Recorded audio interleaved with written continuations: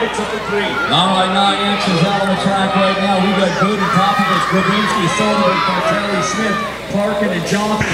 Up front, Hollow, Promax, Colors, a little ripper on the go on Williams, Texas. It's going to Parkin coming back. Oh, Ruben Grabinski as they head back home. It's Parkin with the win. The one.